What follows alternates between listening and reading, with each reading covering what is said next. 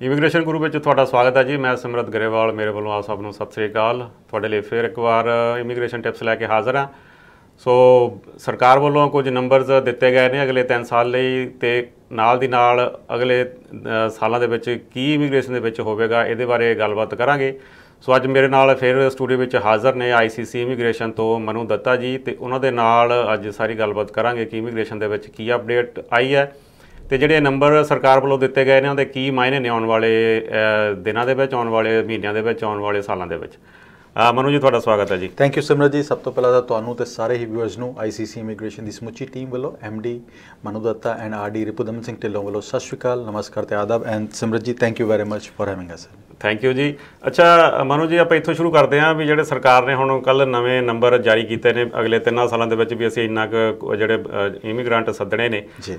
ਇਸ ਨੰਬਰਾਂ ਨੂੰ ਕਿਉਂਕਿ ਹਜੇ ਨੰਬਰ ਹੀ ਆ ਤੋਂ ਬਾਅਦ ਕੋਈ ਕੋਈ ਪਲੈਨਿੰਗ ਨਹੀਂ ਵੀ ਕਿਸ ਤਰ੍ਹਾਂ ਕਿਹੜੀ ਕੈਟਾਗਰੀ 'ਚ ਕੀ ਹੋਣਾ। ਤੁਸੀਂ ਇਹ ਨੰਬਰਾਂ ਨੂੰ ਕਿਵੇਂ ਦੇਖਦੇ ਹੋ? ਸਿਮਰਤ ਜੀ ਡਿਟੇਲਸ ਆ ਗਈਆਂ। ਹੈਗੀਆਂ ਬਟ ਹਾਲੇ ਇੰਟਰਪ੍ਰੀਟੇਸ਼ਨ ਚੱਲ ਰਹੀ ਹੈ ਕਿ ਕਿਸ ਤਰ੍ਹਾਂ ਇਹਨੂੰ ਇੰਟਰਪ੍ਰੀਟ ਕਰੋਗੇ। ਠੀਕ ਹੈ। ਜੇ ਸਭ ਤੋਂ ਪਹਿਲਾਂ ਇਹ ਗੱਲ ਕਰੀਏ ਤੇ ਜਿਹੜੇ 2 ਲੱਖ 200 2020 22 ਦਾ ਜਿਹੜਾ ਟਾਰਗੇਟ ਸੀਗਾ ਉਹ ਟਾਰਗੇਟ ਸੀਗਾ ਜੀ ਪਿਛਲਾ 4 ਲੱਖ 11 ਹਜ਼ਾਰ ਦਾ। ਠੀਕ ਹੈ। ਬਟ ਉਹਨੂੰ ਰੀਵੈਂਪ ਕਰਕੇ ਹੋਰ ਐਂਬੀਸ਼ੀਅਸ ਟਾਰਗੇਟ 4 ਲੱਖ 32 ਹਜ਼ਾਰ ਇਮੀਗ੍ਰੈਂਟਸ ਦਾ ਟਾਰਗੇਟ ਲਿੱਤਾ ਗਿਆ ਹੈ 2022 ਦੇ ਵਿੱਚ। ਠੀਕ ਹੈ। ਇਹਨੂੰ ਦੇਖਣ ਦੇ ਦੋ ਨਜ਼ਰੀਏ ਹੈਗੇ ਨੇ ਜੀ ਕਿ ਇੱਕ ਇਸ ਟਾਈਮ ਤੇ ਇਮੀਗ੍ਰੇਸ਼ਨ ਇਜ਼ ਅਗਰੈਸਿਵ ਹੂੰ ਬਿਲਕੁਲ। ਅਗਰੈਸਿਵ ਐਸ ਕਰਕੇ ਪਿਛਲੇ ਸਾਲ ਦੇ ਟਾਰਗੇਟ 4 ਲੱਖ 1000 ਦਾ ਸੀਗਾ 4 ਲੱਖ 5000 ਮੀਟ ਕਰ ਲਏ ਸੋ ਦੇ ਨੋ ਕਿ ਦੇ ਕੈਨ ਡੂ ਇਟ ਹਲੇ ਲਾਸਟ ਈਅਰ ਸਾਰਾ ਪੈਂਡੈਮਿਕ ਕਰਕੇ ਸਾਰੀਆਂ ਚੀਜ਼ਾਂ ਰੁਕੀਆਂ ਹੋਈਆਂ ਸੀ ਉਹਨਾਂ ਨੇ ਜਿਹੜੇ ਮੈਕਸਿਮਮ ਐਪਲੀਕੈਂਟਸ ਪਿਕ ਕੀਤੇ ਉਹ ਵਿਦਨ ਕੈਨੇਡਾ ਪਿਕ ਕੀਤੇ। ਹੁਣ ਉਹਦੇ ਕਰਕੇ ਬੈਕਲੌਗ ਵੀ ਇਸ ਟਾਈਮ ਤੇ ਬਹੁਤ ਵਧਿਆ ਹੋਇਆ ਹੈ 1.8 ਮਿਲੀਅਨ ਦਾ ਬੈਕਲੌਗ ਹੈਗਾ। ਸਿਮਰਤ ਜੀ ਜਿਹੜਾ ਅਗਲੇ ਸ- ਟਵ- 2022 ਦਾ ਜਿਹੜਾ, ਇਹ ਵੀ ਦੇਖਿਆ ਜਾ ਰਿਹਾ ਹੈ ਕਿ ਅਗਲੇ 6 ਮਹੀਨੇ ਕੋਈ ਐਕਸਪ੍ਰੈਸ ਐਂਟਰੀ ਦਾ ਡਰਾਅ ਵੀ ਨਹੀਂ ਹੋਣਾ। ਅੱਛਾ ਜੀ। ਐਂਡ ਇਹਦੇ ਵਿੱਚ ਅਫੈਕਟ ਕੌਣ ਹੋਣਗੇ ਸੀਸੀ ਕਲਾਸ ਵਾਲੇ? ਜਾਂ ਜਿਹੜੇ ਸਟੂਡੈਂਟਸ ਵਿਦਨ ਕੈਨੇਡਾ ਬੈਠੇ ਹੋਏ ਸੀਗੇ they will be the ones who will be get who will get most affected ਉਹਦਾ ਰੀਜ਼ਨ ਕੀ ਹੈਗਾ ਆ? ਇਸ ਟਾਈਮ ਤੇ 194000 ਐਪਲੀਕੇਸ਼ਨ ਸਿਸਟਮ ਦੇ ਵਿੱਚ ਹੈਗੀਆਂ। ਠੀਕ ਹੈ। ਸੋ ਟੋਟਲ ਟਾਰਗੇਟ ਜਿਹੜਾ ਐਕਸਪ੍ਰੈਸ ਐਂਟਰੀ ਦਾ ਲਿੱਤਾ ਗਿਆ ਹੈਗਾ ਫॉर 2022 ਉਹ ਤਕਰੀਬਨ ਸਾਡੇ ਅਹ, ਸਾਡੇ ਅਹ, 55 55000 ਦਾ ਟਾਰਗੇਟ ਲਿੱਤਾ ਗਿਆ। ਸੋ 55 55000 ਦੇ ਟਾਰਗੇਟ ਦੇ ਵਿੱਚੋਂ ਇਹ ਟਾਰਗੇਟ ਹਾਫ ਕਰ ਦਿੱਤਾ ਗਿਆ। ਹਰ ਸਾਲ ਦਾ ਜਿਹੜਾ ਟਾਰਗੇਟ ਹੁੰਦਾ ਉਹ ਤਕਰੀਬਨ ਲੱਖ ਪਲੱਸ ਐਪਲੀਕੇਸ਼ਨ ਹੁੰਦਾ ਉਹ ਹਾਫ ਕਰ ਦਿੱਤਾ ਗਿਆ। ਹਾਫ ਕਿਉਂ ਕੀਤਾ ਗਿਆ? ਕਿਉਂਕਿ ਜਿਹੜੀਆਂ ਲਾਸਟ ਈਅਰ ਪਬਲਿਕ ਪਾਲਿਸੀ ਦੇ ਤਹਿਤ ਟੀਆਰ ਟੂ ਪੀਆਰ ਦੀਆਂ ਐਪਲੀਕੇਸ਼ਨ ਲਿੱਤੀਆਂ ਸੀਗੀਆਂ ਤਕਰੀਬਨ 87001 ਤੇ 7001 95000 ਐਪਲੀਕੇਸ਼ਨ ਲਿੱਤੀਆਂ ਗਈਆਂ ਸੀਗੀਆਂ। ਉਹਦੇ ਵਿੱਚ ਹਲੇ ਬਹੁਤ ਸਾਰੀਆਂ ਐਪਲੀਕੇਸ਼ਨ ਪ੍ਰੋਸੈਸ ਹੋਣੀਆਂ ਬਾਕੀ ਹੈਗੀਆਂ। ਉਹ once in a lifetime opportunity ਸੀਗੀ ਟੀਆਰ ਟੂ ਪੀਆਰ ਬਹੁਤ ਸਾਰੇ ਸਟੂਡੈਂਟਸ ਇਵਨ ਅਸੀਂ ਸੋਚ ਰਹੇ ਸੀਗੇ ਬਿਕੋਜ਼ ਸਟੇਟਮੈਂਟਸ ਕੁਝ ਇਹੋ ਜਿਹੇ ਇਮੀਗ੍ਰੇਸ਼ਨ ਮਿਨਿਸਟਰ ਤੋਂ ਆ ਰਹੀਆਂ ਸੀ ਟੀਆਰ ਟੂ ਪੀਆਰ ਦੁਬਾਰਾ ਆਏਗਾ। But that was once in a lifetime opportunity ਹੁਣ ਦੁਬਾਰਾ ਨਹੀਂ ਆਏਗਾ। ਬਟ ਹਲੇ ਜਿਹੜਾ ਬੈਕਲੌਗ ਹੈਗਾ ਆ ਜਿਹੜਾ ਲਿੱਤਾ ਗਿਆ ਸੀਗਾ ਉਹਨੂੰ ਕਲੀਅਰ ਕਰਨ ਵਾਸਤੇ ਇਸ ਸਾਲ ਤੇ ਅਗਲੇ ਸਾਲ ਉਹ ਕੋਟਾ ਰੱਖਿਆ ਗਿਆ। ਸੋ 40000 ਦਾ ਕੋਟਾ 2022 ਦੇ ਵਿੱਚ ਹੈਗਾ ਜਿਹੜਾ ਟੀਆਰ ਟੂ ਪੀਆਰ ਦੀ ਐਪਲੀਕੇਸ਼ਨਸ ਪ੍ਰੋਸੈਸ ਹੋਣੀਆਂ 32000 ਦਾ 2023 ਦੇ ਵਿੱਚ ਪ੍ਰੋਸੈਸ ਹੋਣੀ ਹੈਗੀਆਂ।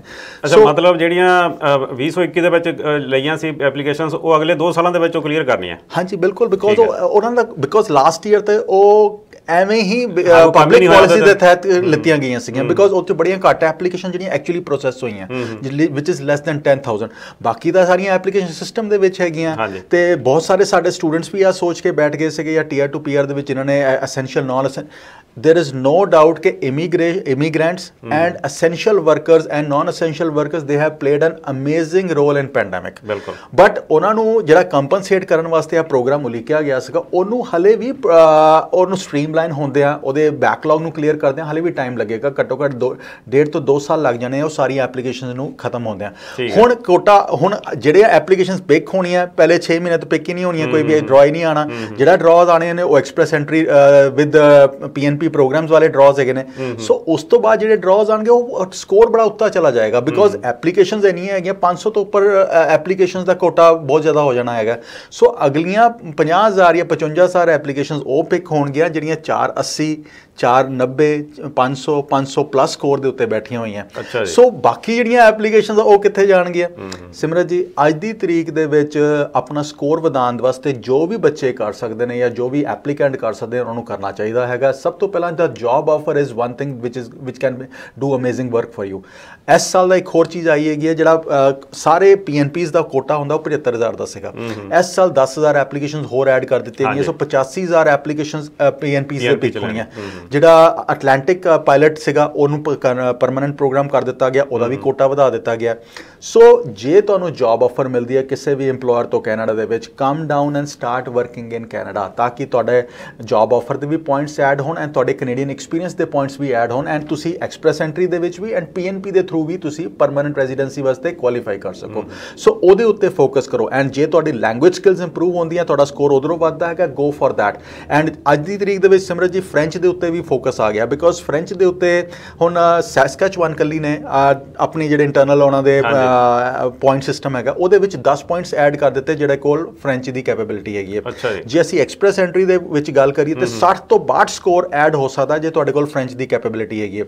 ਇਸੇ ਤਰ੍ਹਾਂ ਨਿਊ ਬ੍ਰਾਂਸਵਿਕ ਇਸ focused towards uh, francophone applicants. Mm. newfoundland labrador francophone the, even ontario uh, francophone ਦੇ ਉੱਤੇ ਚਲਾ ਗਿਆ।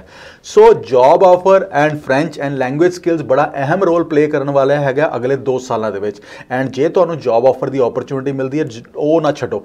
ਇੱਕ ਐਕਸਪ੍ਰੈਸ ਐਂਡ ਕੇਅਰ ਗਿਵਰ ਬਾਰੇ ਬਹੁਤ ਕੁਐਸਚਨ ਆਉਂਦੇ ਨੇ ਸਿਮਰਤ ਜੀ ਕਿ ਸਾਡੀ ਕੇਅਰ ਗਿਵਰ ਦੀਆਂ ਫਾਈਲਾਂ ਐਨਐਚਆਰ ਹੋ ਗਿਆ ਲੱਗੀਆਂ ਹੋਈਆਂ ਉਹਦਾ ਕੀ ਬਣੇਗਾ? ਉਹਦਾ ਜਿਹੜਾ ਕੋਟਾ ਹੈਗਾ ਉਹ 10000 ਐਪਲੀਕੇਸ਼ਨਸ ਦਾ ਰੱਖਿਆ ਗਿਆ ਹੈਗਾ ਫॉर ਦਿਸ ਈਅਰ ਬਟ ਉਹ ਕੱਲਾ ਕੇਅਰ ਗਿਵਰ ਦਾ ਨਹੀਂ ਹੈਗਾ ਉਹਦੇ ਵਿੱਚ Atlantic agri agriculture agri pilot programme. ਉਹਦੀ ਉਹਦੀ ਵੀ ਕੈਟਾਗਰੀਜ਼ ਉਹਦੀ ਵੀ ਐਪਲੀਕੇਸ਼ਨਸ ਵਿੱਚ ਹੈਗੀਆਂ। ਉਸ ਤੋਂ ਬਾਅਦ RNIP rural and northern immigration pilot project ਉਹ ਵੀ ਵਿੱਚ ਹੈਗਾ। ਨਵਾਂ ਇੱਕ ਪ੍ਰੋਗਰਾਮ ਉਲੀਕਿਆ ਜਾ ਰਿਹਾ municipal programme with job offers ਉਹਦੇ ਵੀ ਨੰਬਰਸ ਵਿੱਚ ਹੈਗੇ ਨੇ। ਸੋ 10000 ਐਪਲੀਕੇਸ਼ਨਾਂ ਜਿਹੜੀਆਂ ਪ੍ਰੋਸੈਸ ਹੋਣੀਆਂ ਉਹਦੇ ਵਿੱਚ ਸਾਰੀਆਂ ਕੈਟਾਗਰੀਜ਼ ਜਿਹੜੇ ਹੈਗੀਆਂ। ਤਿੰਨ ਚਾਰ ਕੈਟਾਗਰੀ ਸਪਲਿਟ ਕਰਤੀਆਂ ਉਹਦੇ ਵਿੱਚ। ਹਾਂਜੀ, ਉਹ ਸਾਰੀਆਂ ਕੈਟਾਗਰੀਜ਼ 10000 ਦੇ ਵਿੱਚ। ਸੋ ਕੱਲੀ ਕੇਅਰ ਗਿਵਰ 10000 ਨਹੀਂ ਪਿਕ ਹੋਣੀਆਂ। ਕੇਅਰ ਗਿਵਰ ਦੀ ਜਿਹੜੀ ਸੋਚਿਆ ਜਾ ਰਿਹਾ ਹੈ ਕਿ 3500 ਤੋਂ 5000 ਐਪਲੀਕੇਸ਼ਨਸ ਹੋਣਗੀਆਂ, ਬਾਕੀ ਐਪਲੀਕੇਸ਼ਨਸ ਬਾਕੀ ਕੈਟਾਗਰੀਜ਼ ਦੀਆਂ ਹੋਣਗੀਆਂ। ਠੀਕ ਹੈ। ਅੱਛਾ ਆਪਾਂ ਜਿਹੜੇ ਖਾਸ ਕਰਕੇ ਜਿਹੜੇ ਇੱਥੇ ਸਟੂਡੈਂਟ ਰਹੇ ਆਪਾਂ ਉਹਨਾਂ ਦੀ ਗੱਲ ਕਰਦੇ ਹਾਂ ਕਿਉਂਕਿ ਹੁਣ ਜਿਵੇਂ ਤੁਸੀਂ ਵੀ ਗੱਲ ਕੀਤੀ ਹੈ ਵੀ ਕੋਈ ਕੁਝ ਪੈਂਡੇਮਿਕ ਕਰਕੇ ਵੀ ਜਿਹੜੇ ਸਰਕਾਰ ਵੱਲੋਂ ਕੋਈ ਪਲਾਨ ਨਹੀਂ ਸੀ ਉਲੀਕਿਆ ਗਿਆ। ਵੀ ਹੁਣ ਨੰਬਰ ਆਏ ਨੇ ਤੇ ਜਿਹੜੇ ਸਟੂਡੈਂਟ ਜਾਂ ਇੱਥੇ ਹੋਰ ਜਿਹੜੇ ਆਪਣੇ ਲੋਕ ਇੱਥੇ ਇਨ ਇਨਸਾਈਡ ਕੈਨੇਡਾ ਸੀਗੇ ਸੋ ਬੜੇ ਬੈਠੇ ਸੀ ਵੀ ਸ਼ਾਇਦ ਸਰਕਾਰ ਕੁਝ ਕਰੇਗੀ ਕੁਝ ਨਵਾਂ ਪਲਾਨ ਕੱਢੇਗੀ। ਹੁਣ ਜਿਹੜੇ ਸਟੂਡੈਂਟ ਸੀਗੇ ਬੈਠੇ ਉਹਨਾਂ ਲਈ ਤੁਸੀਂ ਕੀ ਕਹਿਣਾ ਚਾਹੁੰਦੇ ਹੋ ਵੀ ਤੁਹਾਡੀ ਕੀ ਐਕਸਪਰਟਿਜ਼ ਕਹਿੰਦੀ ਆ ਵੀ ਕੀ ਉਹ ਕਰਨ ਹੁਣ? ਸਿਮਰਤ ਜੀ ਸਭ ਤੋਂ ਪਹਿਲਾਂ ਤਾਂ ਜਿਹੜੇ ਵੀ EMPLOYER ਨਾਲ ਤੁਸੀਂ ਸਟੂਡੈਂਟਸ ਕੰਮ ਕਰ ਰਹੇ ਨੇ ਉਹਨਾਂ ਨੂੰ ਚਾਹੀਦਾ ਕਿ ਪੂਰੀ ਸਿੰਸੀਅਰਿਟੀ ਪੂਰੀ ਓਨੈਸਟੀ ਨਾਲ ਕੰਮ ਕਰਨ। ਐਂਡ ਆਪਣੇ EMPLOYERS ਨੂੰ ਵੀ ਕਹਿਣ ਕਿ ਤੁਹਾਨੂੰ ਸਪੋਰਟ ਕਰਨ in your endeavour towards permanent residency ਉਹ ਭਾਵੇਂ ਜੌਬ ਆਫਰ ਦੇ ਨਾਲ ਹੋਵੇ ਭਾਵੇਂ ਪੀਐਨਪੀ ਦੇ ਥਰੂ ਹੋਵੇ ਜੇ ਤੁਹਾਡੀ NOC C and NOC D jobs ਹੈਗੀਆਂ ਤੁਸੀਂ ਸੋਚ ਕੇ ਬੈਠੇ ਸੀਗੇ ਕਿ ਸਾਡੀ ਪਬਲਿਕ ਪਾਲਿਸੀ ਦੇ ਤਹਿਤ ਦੁਬਾਰਾ ਕੋਈ ਟੀਆਰ ਟੂ ਪੀਆਰ ਐਪਲੀਕੇਸ਼ਨਸ ਆ ਜਾਣਗੀਆਂ ਉਹ ਛੱਡ ਕੇ ਹੁਣ ਗੈਟ ਸੀਰੀਅਸ ਬਿਕੋਜ਼ ਤੁਹਾਡੇ ਮਾਪਿਓ ਨੇ ਤੁਸੀਂ ਬੜੀਆਂ ਮਿਹਨਤਾਂ ਕੀਤੀਆਂ ਤੁਹਾਡੇ ਮਾਪਿਓ ਨੇ ਕਈ ਸਰਫੇ ਕਰਕੇ ਤੁਹਾਡੇ ਪੈਸੇ ਤੁਹਾਡੀ ਫੀਸਾਂ ਭਰੀਆਂ ਹੈਗੀਆਂ ਤੁਹਾਡੇ ਖਰਚੇ ਭਰੇ ਹੈਗੇ ਨੇ। So get serious towards your immigration now and ਜਿਹੜਾ ਆ ਸੋਚੋ ਕਿ ਜਿਹੜਾ ਈਜ਼ੀ ਟਾਈਮ ਸੀਗਾ it is almost over now because pandemic ਕਰਕੇ ਬਹੁਤ ਸਾਰੀਆਂ ਆਸਾਨੀਆਂ ਹੋਈਆਂ ਹੋਈਆਂ ਸੀਗੀਆਂ। 75 ਦੇ ਸਕੋਰ ਦੇ ਉੱਤੇ ਸੀਆਰਐਸ ਐਪਲੀਕੇਸ਼ਨ ਸਾਰੀਆਂ ਪਿਕ ਹੋ ਰਹੀਆਂ ਟੀਆਰ ਟੂ ਪੀਆਰ ਜਿਹੜੇ ਪਾਸ ਆਊਟ ਹੋਏ ਰਾਈਟ ਅਵੇ ਪਿਕ ਹੋ ਗਏ। ਸੋ ਉਹ ਆਸਾਨੀਆਂ ਰਿਲੇਟਿਵਲੀ ਹੁਣ ਖਤਮ ਹੁੰਦੀਆਂ ਨਜ਼ਰ ਆਣੀਆਂ ਮਤਲਬ ਤੁਹਾਡੇ ਹਿਸਾਬ ਦੇ ਨਾਲ ਹੁਣ ਟਫ ਟਾਈਮ ਆਉਣ ਵਾਲਾ ਹੈ। ਟਫ ਟਾਈਮ ਹਾਂਜੀ ਬਿਲਕੁਲ ਜਿਹੜੇ ਬੱਚੇ ਖਾਸ ਕਰ ਗ੍ਰੇਡ 12 ਕਰਕੇ ਆਏ ਹੋਏ ਨੇ ਜਿਹੜਾ ਸਕੋਰ 6 ਬੈਂਡਸ ਜਾਂ 5.5 ਬੈਂਡ ਤੇ ਹੈਗੇ ਨੇ ਉਹਨਾਂ ਵਾਸਤੇ ਮੁਸ਼ਕਲਾਂ ਆਉਣ ਵਾਲੀਆਂ। ਸੋ ਉਹਨਾਂ ਨੂੰ ਚਾਹੀਦਾ ਹੈਗਾ ਕਿ ਆਪਣੇ ਬਾਕੀ ਪ੍ਰੋਵਿੰਸਸ ਦੇ ਉੱਤੇ ਫੋਕਸ ਕਰਨ। ਸੈਸਕੈਚੁਅਨ ਚਲੇ ਜਾਣ ਮੈਨੀਟੋਬਾ ਚਲੇ ਜਾਣ Nova Scotia New Brunswick Newfoundland Labrador Prince Edward Island move out of GTA move out of Greater Vancouver area ਤਾਂ ਕਿ ਤੁਹਾਡੇ ਕੋਲ ਓਪਰਚ्युनिटी ਬਣ ਸਕੇ ਤੁਹਾਨੂੰ ਸਮਝ ਆ ਸਕੇ ਕਿ ਕਿਹੜੀ ਓਪਰਚ्युनिटी ਤੁਹਾਡੇ ਵਾਸਤੇ ਬੈਸਟ ਵਰਕ ਕਰ ਸਕਦੀ ਹੈ। ਇਨਫੋਰਮੇਸ਼ਨ ਲੈਣਾ ਚਾਹੁੰਦੇ ਹੈਗੇ ਉਹ ਕੰਸਲਟੇਸ਼ਨ ਕੰਸਲਟੇਸ਼ਨ ਲੈਣਾ ਚਾਹੁੰਦੇ ਹੋ ਆਈਸੀਸੀ ਇਮੀਗ੍ਰੇਸ਼ਨ ਤੇ ਸਾਨੂੰ ਕਾਲ ਕਰ ਸਕਦੇ ਹੋ। ਇਹ ਅਸੀਂ ਹਮੇਸ਼ਾ ਕਹਿੰਦੇ ਸਿਮਰ ਜੀ ਕਿ free consultation but free consultation ਦਾ ਮਤਲਬ ਹੁੰਦਾ ਕਿ ਇੱਕ ਜਾਂ ਦੋ ਕੁਐਸਚਨ ਤੁਸੀਂ ਪੁੱਛ ਲਓ। ਜੇ ਤੁਸੀਂ ਕਹਿੰਦੇ ਹੋ ਕਿ ਮੈਂ ਸਾਰੀਆਂ ਐਸਪੈਕਟਸ ਤੁਹਾਡੇ ਦੇਖ ਕੇ ਤੁਹਾਡੇ ਸਾਰੀਆਂ ਚੀਜ਼ਾਂ ਸੁਜੈਸਟ ਕਰਾਂ ਕਿ ਕਿਹੜੀ ਓਪਰਚ्युनिटी ਤੁਹਾਡੇ ਵਾਸਤੇ ਬਕ ਉਹਦੇ ਵਾਸਤੇ ਬੈਸਟ ਹੈਗਾ ਕਿ ਤੁਸੀਂ ਪੇਡ ਕੰਸਲਟੇਸ਼ਨ ਸਾਡੇ ਦਫ਼ਤਰ ਦੇ ਨਾਲ ਲਓ।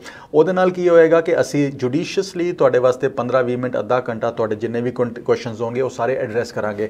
ਐਂਡ ਉਹਦੇ ਵਿੱਚ ਜਾਣ ਵਾਸਤੇ ਅਸੀਂ ਤੁਹਾਡੇ ਵਾਸਤੇ ਟਾਈਮ ਬਲੌਕ ਕਰਕੇ ਕੇ ਰੱਖਾਂਗੇ ਕਿ ਇਸ ਟਾਈਮ ਦੇ ਵਿੱਚ ਮੈਂ ਸਿਰਫ ਤੁਹਾਡੇ ਨਾਲ ਡਿਸਕਸ਼ਨ ਤੁਹਾਡੀ ਤੁਹਾਡੀ ਕੇਸ ਬਾਰੇ ਕਰਨੀ ਹੈ। ਤੁਹਾਡੇ ਓਪਰਚ्युनिटी ਕਿਹੜੀਆਂ ਵਰਕ ਕਰ ਸਕਦੀਆਂ ਕਿਸ ਤਰ੍ਹਾਂ ਓਪਰਚ्युनिटी ਵਰਕ ਕਰ ਸਕਦੀ ਹੈ ਉਹਦੇ ਨਾਲ ਕੀ ਹੈਗਾ ਕਿ ਤੁਸੀਂ ਸਾਡੇ ਟਾਈਮ ਦੀ ਰਿਸਪੈਕਟ ਕਰ ਰਹੇ ਹੋ ਅਸੀਂ ਤੁਹਾਡੇ ਤੁਹਾਡੇ ਵਾਸਤੇ ਆਪਣਾ ਟਾਈਮ ਬਲੌਕ ਕਰਕੇ ਤੁਹਾਡੀ ਵੀ ਰਿਸਪੈਕਟ ਉਸੇ ਤਰ੍ਹਾਂ ਅਸੀਂ ਬਰਕਰਾਰ ਕਰ ਰਹੇ ਹੈਗੇ ਨਾਲੇ ਮਨੂ ਜੀ ਹੁਣ ਜਿਸ ਤਰ੍ਹਾਂ ਦੇ ਹੁਣ ਹਾਲਾਤ ਅੱਗੇ ਆ ਰਹੇ ਨੇ ਜੋ ਸਰਕਾਰ ਵੱਲੋਂ ਹੁਣ ਪਤਾ ਕਿਉਂਕਿ ਪਤਾ ਨਹੀਂ ਕਿ ਸਰਕਾਰ ਨੇ ਹੁਣ ਆਉਣ ਵਾਲੇ ਸਮੇਂ ਦੇ ਵਿੱਚ ਕਿਸ ਕਿਸ ਤਰ੍ਹਾਂ ਦੇ ਜਿਹੜੇ ਪਲਾਨ ਕੱਢਣੇ ਨੇ ਸੋ ਖਾਸ ਕਰਕੇ ਇਸ ਸਮੇਂ ਤੇ ਐਕਸਪਰਟ ਰਾਏ ਦੀ ਬੜੀ ਮੇਰਾ ਮੇਰੇ ਹਿਸਾਬ ਦੇ ਨਾਲ ਬੜੀ ਜ਼ਰੂਰਤ ਹੈ।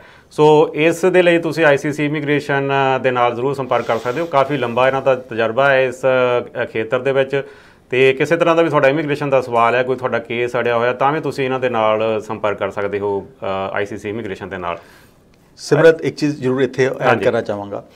ਆਉਣ ਵਾਲੇ 8-9 ਸਾਲਾਂ ਦੇ ਵਿੱਚ ਤਕਰੀਬਨ 5 ਲੱਖ 5 ਮਿਲੀਅਨ ਦੇ ਆਸ-ਪਾਸ ਕੈਨੇਡੀਅਨ ਪੋਪੂਲੇਸ਼ਨ ਰਿਟਾਇਰ ਹੋਣ ਜਾ ਰਹੀ ਹੈ। ਹਾਂਜੀ। ਸੋ ਇਮੀਗ੍ਰੇਸ਼ਨ ਦੇ ਉੱਤੇ ਤਾਂ ਫੋਕਸ ਰਹੇਗਾ ਹੀ ਰਹੇਗਾ। ਸੋ ਐਸੇ ਵਾਸਤੇ ਗਵਰਨਮੈਂਟ ਨਵੇਂ ਪ੍ਰੋਗਰਾਮਸ ਲੈ ਕੇ ਆਏਗੀ ਟਾਰਗੇਟਸ ਵਧਾ ਰਹੀ ਹੈਗੀ ਬਿਕੋਜ਼ ਅਸੀਂ ਜਿਹੜੇ ਸਾਡੇ ਸਰਵਿਸ ਸੋਸ਼ਲ ਪ੍ਰੋਗਰਾਮਸ ਹੈਗੇ ਨੇ ਜਿਸ ਤਰ੍ਹਾਂ ਫ੍ਰੀ ਐਜੂਕੇਸ਼ਨ ਹੈਗੀ ਗ੍ਰੇਡ 12 ਤੱਕ ਮੈਡੀਕਲ ਫ੍ਰੀ ਹੈਗਾ ਆ। ਇਹ ਬੜੀਆਂ ਵੱਡੀਆਂ 911 ਦੀਆਂ ਬੜੀ ਵੱਡੀਆਂ ਵੱਡੀਆਂ ਸਹੂਲਤਾਂ ਹੈਗੀਆਂ। ਸਿਮਰਤ ਜੀ ਜਿਹੜੇ ਘਰ ਦੇ ਵਿੱਚ ਕੋਈ ਡਿੱਗ ਪੈਂਦਾ ਜਾਂ ਕੋਈ ਬਿਮਾਰ ਹੋ ਜਾਂਦਾ ਤੇ ਉਹਨੂੰ ਪਤਾ ਉਹ 911 ਜਾਂ ਪੈਰਾਮੈਡਿਕ ਜਦੋਂ ਤਿੰਨਾਂ ਮਿੰਟਾਂ ਦੇ ਵਿੱਚ ਘਰ ਆ ਜਾਂਦੇ ਨੇ ਉਹ ਕਿੰਨੀ ਵੱਡੀ ਅਹਿਮੀਅਤ ਰੱਖਦੇ ਨੇ।